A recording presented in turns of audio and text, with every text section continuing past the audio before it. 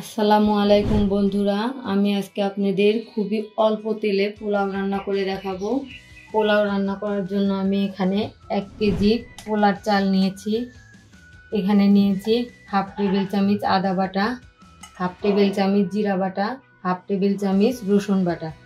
এখানে নিয়ে নিয়েছি গরম মশলা, পাঁচ টুকরা দার এলাচ আছে, চার টুকরা দারচিনি লবঙ্গ, গোলমরিচ তিন চারটা করে, দুটো তেজপাতা, আর রান্নার সময় আমি পরিমাণ মতো তেল দিয়ে আপনাদের দেখিয়ে দেব। এখন আমি পোলাও রান্না করব। পোলাও রান্না করার আগে আমি চালটা ভালোভাবে ধুয়ে নিচ্ছি। ধুয়ে আমি চালটা পানি ঝরে, ঝরানোর জন্য এরকম একটা ছাঁকনিতে রেখে দিচ্ছি চাল। পানিটা ঝরে গেছে। এখানে আমি পাঁচ সাতটা পেঁয়াজ কুচি করে নিয়েছি।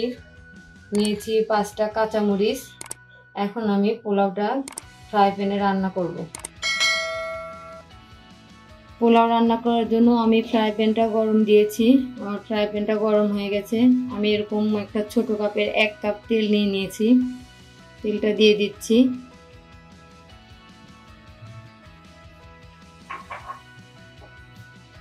এখন দিয়ে দেবো কুচি করা পেঁয়াজ।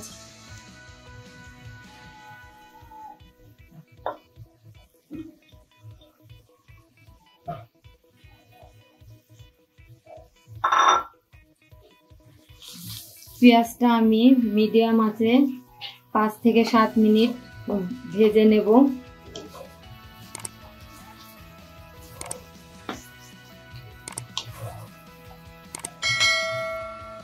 আমি পাঁচ সাত মিনিট এটা ভেজে নিয়েছি। এরকম অনবরত লাড়াচাড়া করে দেখেন একদম বাদামি কালার হয়ে গেছে। এখন আমি চুলাটা বন্ধ করে দিচ্ছি। যেখানে আমি অর্ধেকের চাইতে একটু অল্প পেঁয়াজ ভাজা উঠায় নেব বেরেস্তা দেওয়ার জন্য, আর বাকিটা পোলাও রান্নার কাজে ব্যবহৃত করব। পেঁয়াজটা বেরেস্তা করার পর আমি অর্ধেকটা পেঁয়াজ উঠিয়ে নিয়েছি। এখন বাকি অর্ধেকটা পেঁয়াজে আমি পোলার চালটা দিয়ে দেব।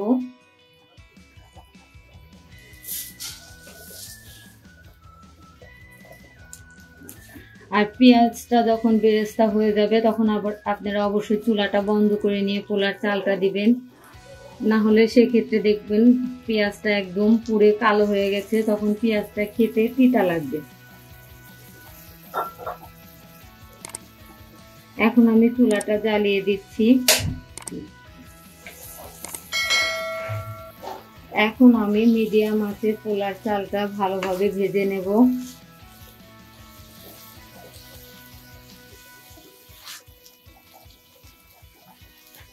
আমি যে গরম মশলাগুলো নিয়ে নিয়েছিলাম, সেগুলো দিয়ে দিচ্ছি। দিয়ে দিচ্ছি রসুন বাটা, জিরা বাটা,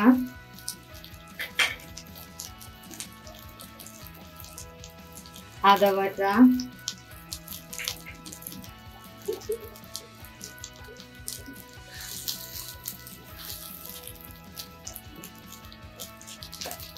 সবগুলো উপকরণ আমি ভালোভাবে মিশিয়ে এভাবে পাঁচ মিনিট ভেজে নেব। মিডিয়াম আছে।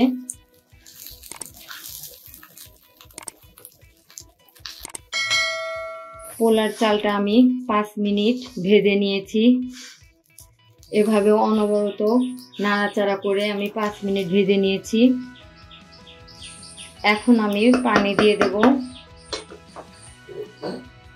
পোলার চালে পোলা রান্না করার সময় অনেকেই দেখা যাচ্ছে পোলাও ঝরঝরা হয় না। আপনারা এক পোয়া চালে হাফ কেজি পানি দিবেন, মেজারমেন্ট কাপ আছে, কাপ দিয়ে মেপে দিবেন, তাহলে একদম ঝরঝরে পোলাও হবে।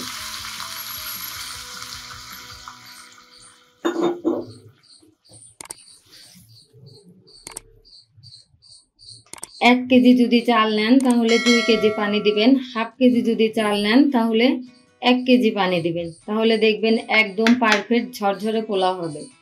আমি এখানে এক কেজি চাল নিয়েছি, সেক্ষেত্রে আমি দুই কেজি পানি দিয়েছি। দিয়ে দিচ্ছি পাঁচটা কাঁচামরিচ স্বাদ মতো লবণ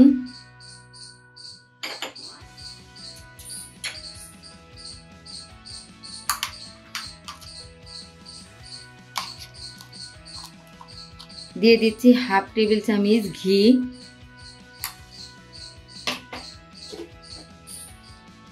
এগুলো আমি একটু মিশিয়ে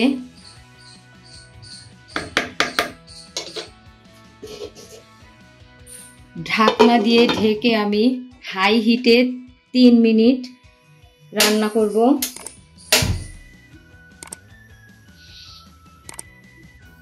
তিন মিনিট আমি হাই হিটে এটা ঢাকনা দিয়ে ঢেকে রেখেছিলাম। এখন আমি উঠিয়ে দেখিয়ে দিচ্ছি।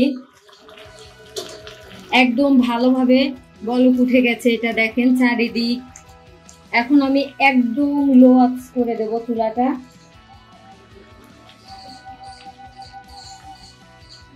একদম এখন লো হিটে আমি এটা পনেরো মিনিট ঢাকনা দিয়ে ঢেকে রাখব।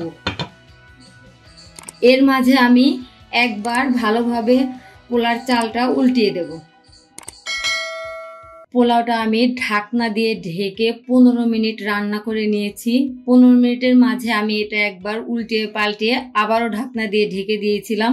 এখন আমি ঢাকনাটা উঠিয়ে আপনাদের দেখিয়ে দিচ্ছি।